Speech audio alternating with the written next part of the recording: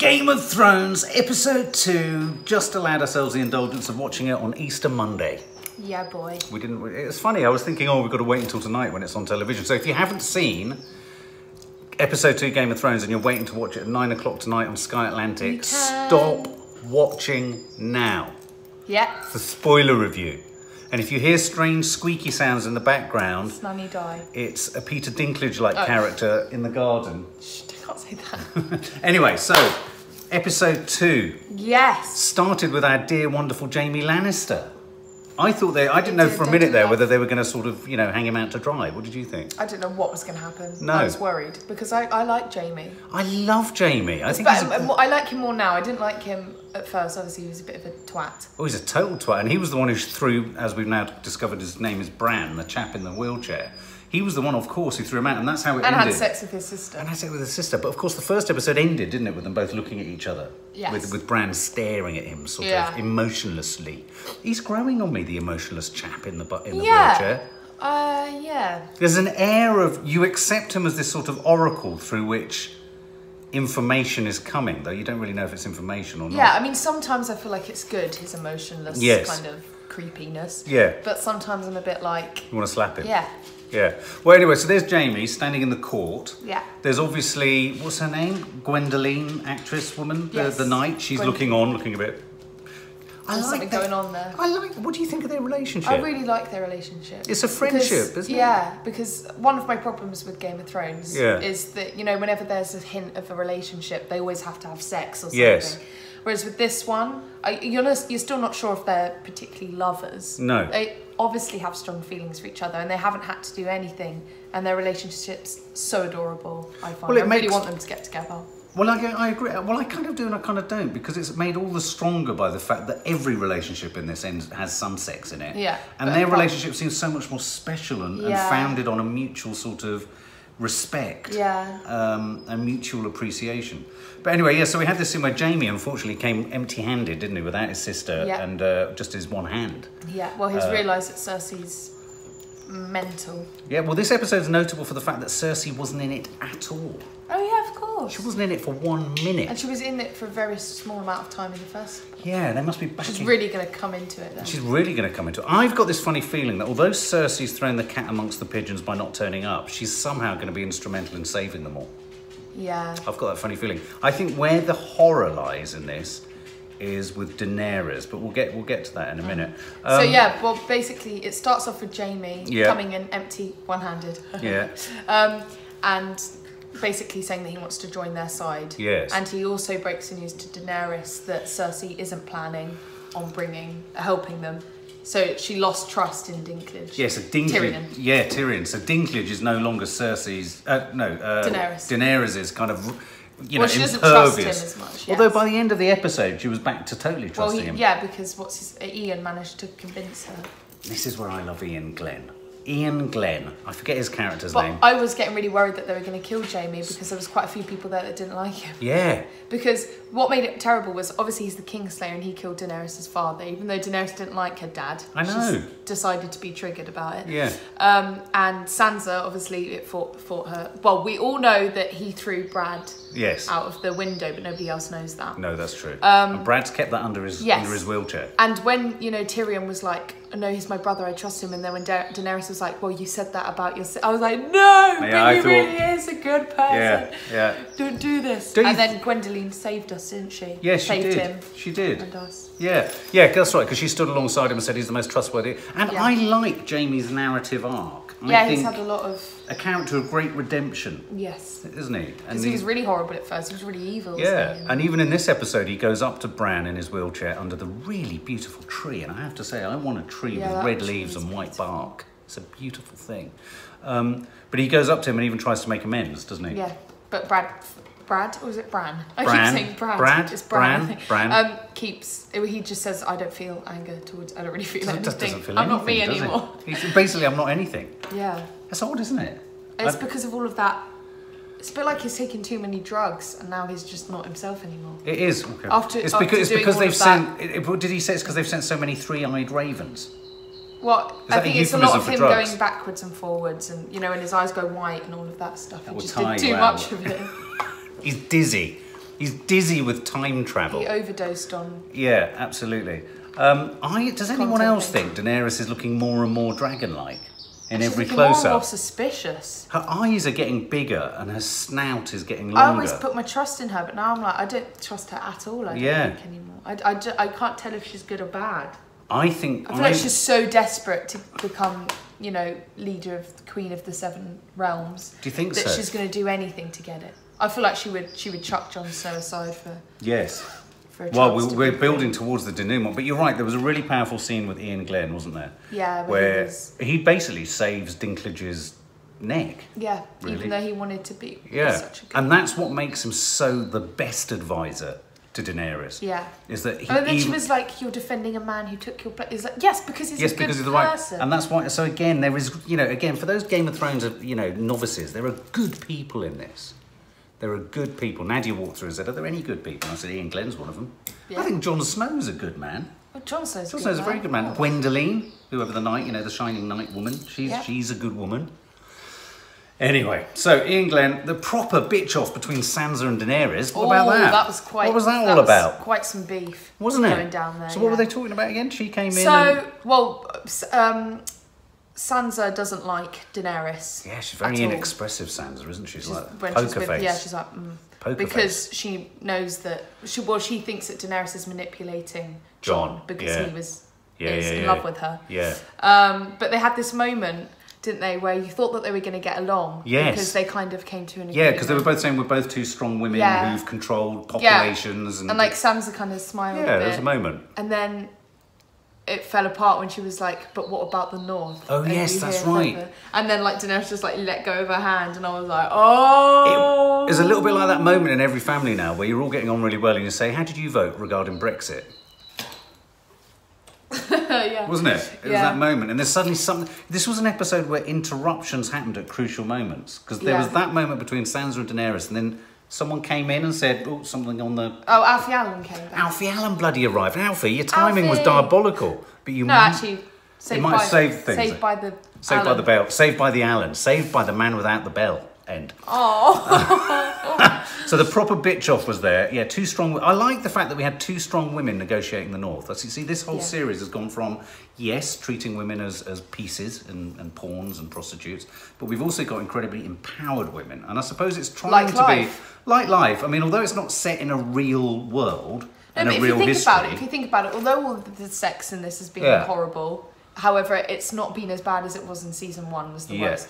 Uh, that's what it was like back then. well, this is it. And although this isn't a back then that happened, they're trying to emulate the back then that we can relate to. Yeah. So women would have and that's what's given those like the. Yeah. the strong women in this Yeah. meaning. Absolutely. Yeah, so Alfie Allen arrives. Yeah, and it's basically you know I'm I've- fighting for I'm you. fighting for you. Even though I haven't got a penis. Allow him. Yeah, okay? you can do that. And Sansa went all teary eyed. She did, and they hugged, and that was nice because they've got that bond. They're like brother and sister. Brother and sister, yeah. And I tell you, I love in this entire series, series is the Geordie guy. I forget his name. You know, the the, the sort of the soldier, the Geordie. Well, yeah, man, the one who's the one who's is like helping them all all the time. The bald one, you know, Oh, who's yes, hanging out the yes, Geordie. yes, yeah. He's great. I love him. There's something about him that makes me think of Alan Shearer, the footballer. Don't know why, um, but I just, I just, I like him. He makes me feel safe. Yeah, he was. He's really. And I love the wild wildings. Wild wildling. Wildlings, even. Yeah, the big ginger guy. Big ginger guy. He's so funny, and his thing with, With the female with Gwendoline. It's is- so funny. I love that his looks, and, and I thought It's this. a bit where he goes, "We're all gonna die, but at least we died together." yeah, yeah, yeah. He's very goes- cheeky. He's very cheeky. Uh, and I thought there was a lot of good writing in this. There was a lot of really good one-liners, weren't Sorry, there? it's really like Iain. It's good man. Yeah, in my notes I've got Iain Glen is a good man. What else have I got? Alfie Allen's fighting for Winterfell. Love the, love the Wildlings. Then ah, fan theory alert. I said this to Maddie in the middle of it. Yes. I've heard it said by somewhat some of our subscribers and followers that someone thinks that the Night King, So the the king of the White the king of the Walkers- White Walkers, the king of the dead, is Daenerys' father. Yeah. So that makes that's It's Daenerys' and thingies. No, Daenerys' No, no, no, just Daenerys' Daenerys' father. father. What about that? Shush! Die somewhere else. It's all right, someone dying off camera there. Oh Um, God. Yeah, what of that? Does anyone else think that? Do you think that could be the case? I think that definitely could be the case. Do you Makes think? so much sense now. Could that be why he's really handy with dragons? Oh, C. C. See? And that must be why. Oh, Yeah. no. What? I was going to say, why isn't he really going after Jaime? I th- yeah. Well, he could kill Jaime if he's the night, because Jaime killed him. Shitting hell. Ja- he's got beef with Jaime. I've got a feeling that Jaime's iron hand is going to save him. It's like there's something Ah. about the iron of the hand. He's going to reveal it's made of dragon glass. No! Dragon glass hand. They need to make his hand out of dragon glass. Um, I like the scene where they were all sort of in the round. It was a bit of a fellowship situation. Um, Oh, yeah. And they were sort of sat around the fireplace getting drunk. I mean, Yeah. what would you do in the situation where you knew you were going to battle? It's your last night, but you, you need your wits about you to be able to fight the next day. So it's kind of like you've got a sleepover, you want to stay up late with your mates, Yeah. but you know that tomorrow morning you've got a huge exam. It just happens to be the dead are going to come and fight you. What Right. do you do? Do you have a good time with your friends and run the risk of Yeah, probably have a good time with my friend. If I know I was going to die, then you might as well, right? Yeah, but you want to have a you want to put up a fight. You can still put up a fight hungover, no? Yeah. Okay. So hung up. Well, fair enough. So they're all hanging out together around the fireplace. I like that. I thought that was really strong, and I thought Sam's line about death is forget that that was death is what was that thing about the, death is the point at which you forget you are a human and all that. I just thought there was some really rich, rich lines there about the meaning of being alive, being dead, and what it means to be a man. Yeah. Um, and and then of course there was that wonderful, wonderful, wonderful moment where the chief wildling, who fancies Oh. Gwendoline, that was hysterical. Where he shared a story about how he well how he killed a, giant, giant. at 10 years old then slept in the bed with Of the giant's wife. wife.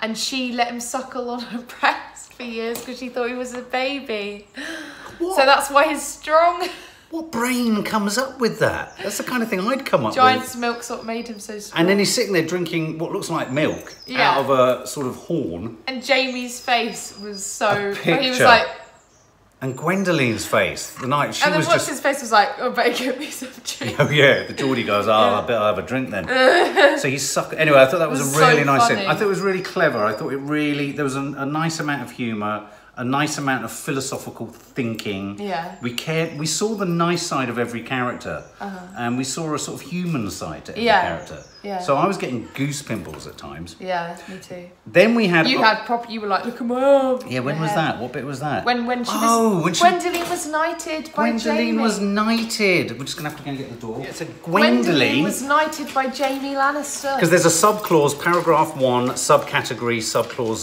one v dash hyphen one Right. in the knight contract, which means another knight can knight you. Yeah, but I love that bit, wasn't it? Because it was the wildling that was like, "Why are you not a knight?" And she went, "Women can't be knights." And he was like, "Who says that?" She went, "It's tradition." He goes, "Fuck tradition." Yeah, He so goes, it- "I would, I would knight you." Yeah. a thousand times. He was great, and his sort of there's a sort of simplistic, barbaric feminism at work in him. Yeah. It's like he wants her, but he wants Well, her I as an equal. think the wildlings are quite fe- quite feminist because, like, are. you know, the women in their tribe are just Yes. as strong as the men, and they're just Yeah. as able to. True. And then there was a song from her squire, Oh yeah, he was a good singer. and that was a great moment. That gave you goosebumps. That gave me goosebumps because they did that wonderful Pimps. thing where they goose pimps, where they slid the music as he was singing under shots of them getting ready, and then you start to think, oh my god, they're all gonna die.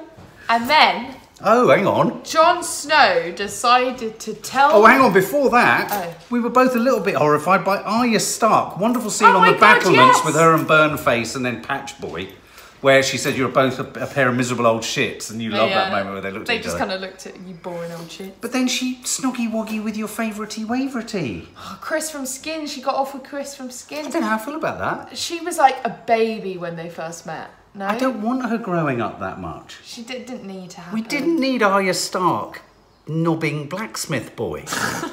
it was a beyond requirement. She was like, I want to know what it feels. It's like I wouldn't if I if I was in my if it was in my last you know day Series? to be alive. Oh right, yeah. I would. That would be my first thought. I want to know what it feels like to get Absolutely. off of a guy. But also, there was just something. It was almost like if everyone felt in the making of this. Every other character's had a sex scene. We need to give Arya one just Yeah, before but she she's heads like off a into the babe. world. She's like, how old is she? Wrong. Like, no. Wrong. It was wrong. And he's he's older than her. It's wrong. But yeah. Anyway, so I, I interrupted you. So then, So, final yeah, scene, we head down to the crypt. So, Jon Snow. So this this whole time, you know, this whole episode, we're like, when is Jon Snow going to Yeah. tell Daenerys that they are related and he is the heir to the throne? yeah. And Jon Snow decides to tell Daenerys five minutes before they go into battle. And she is not happy, is she? She believes that he's made it up because he heard it from his brother and his best friend. Yeah. Which, if you say it like that, oh, I you mean, think, fair enough, yeah, but still. She's not going to want to. could it could be that it was brilliant timing by Jon Snow or terrible timing. Well, we, we could, from that last, last, last shot where him, Tyrion, and Mm, Daenerys Tyrion was standing watching off the castle, you know, where Jon Snow looks at her and nods and she just goes, walks off. I'm like that. Mm, if she was, if it was a good idea, she would have nodded back. But what they've done that's so good is we know we're about to enter the battle of all battles. Yeah, but she might go all funny and just Exactly. So we're entering the battle of all battles, and we know that within, behind the front line of all of our characters, there's all the there's that tension, brooding tension between her. Is she Yeah. going to turn on him? Is she going to? And then we saw little Dinklage just standing in the battle for battlements, just looking, teary-eyed. teary-eyed. And the last shot, what was the last shot? This fucking dead horse. The White Walkers just. The White standing. Walkers. The White Walkers hit. They they just their feet just came in like this. The horses, yeah. That famous shot. And there's just lots of them. There's so many of them. I don't know how they're going to do this at all. I was saying to Maddie, it's almost like this week, the next week, is one of the most Depressing. depre- potentially depressing weeks in, this in week geek is going to be one of my most depressing weeks. Because we've got the my- Avengers of My coming. teenage. yeah, you're. Because it's the end of Game of Thrones and it's the end of the Avengers. this is your coming of age week. This is the week you transition fully into being an adult woman, as every one of your childhood character. Okay, be quiet. Anyway, what's going to happen, guys? What did you think? Did you enjoy it? Did you like it? You looking forward to episode three? I know Oh I sure as hell am. I, I really am. So my, so much.